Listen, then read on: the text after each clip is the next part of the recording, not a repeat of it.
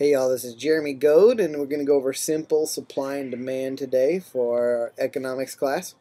Uh, supply and demand, you can see here on these curves, the supply curve is represented by the blue line.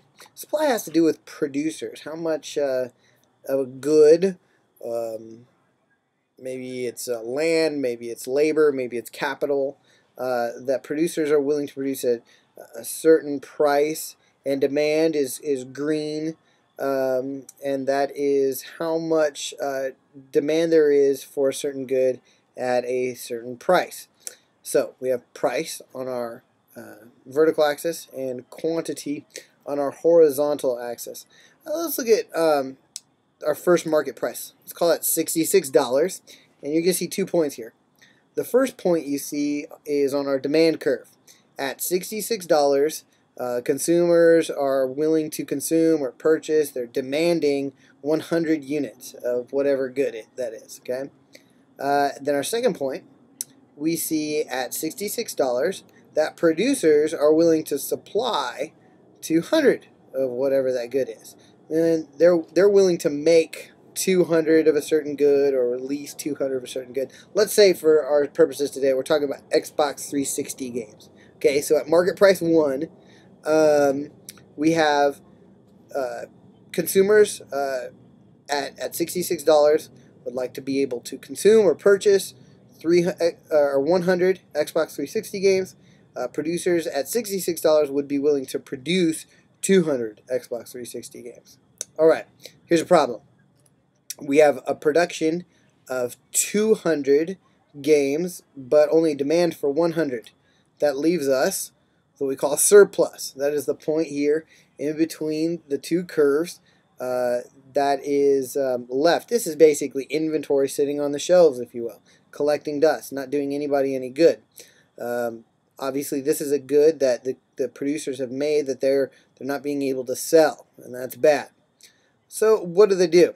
Well, producers here would lower the price. It's done in a mutual determination fashion, meaning that they're seeing that consumers are not willing to buy, but they lower the price until they are willing to buy.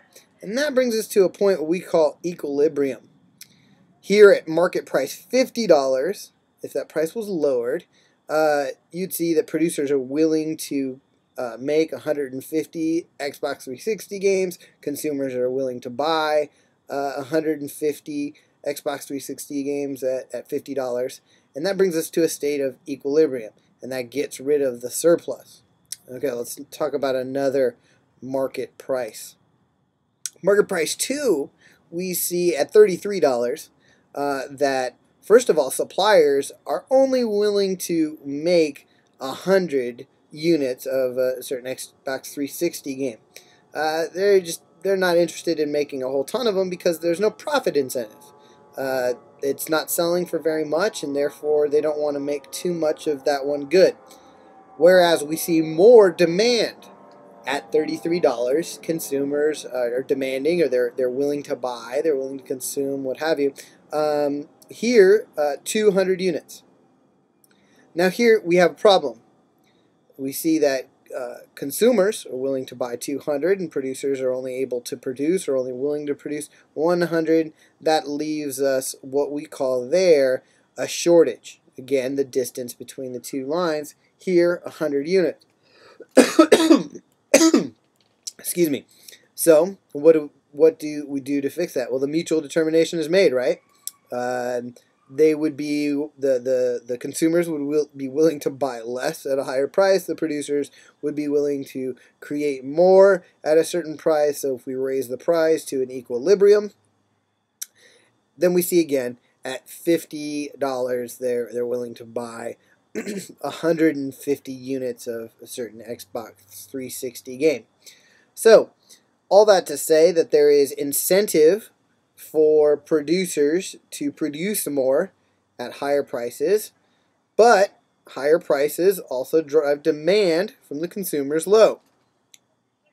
Um, when the price is lowered, there is less incentive for producers to produce, and when the price is lowered, there is more demand for a certain good. Well, that's about it for today, I guess. Uh, I hope this makes supply and demand a little bit easier. It's a very, very simple introduction. There's a lot of contingencies, like um, the fact that market prices must be able to to change. Prices must be able to change. There must not be caps or those sorts of things, which we'll talk about price controls uh, in a later lesson. All right. Have a good one.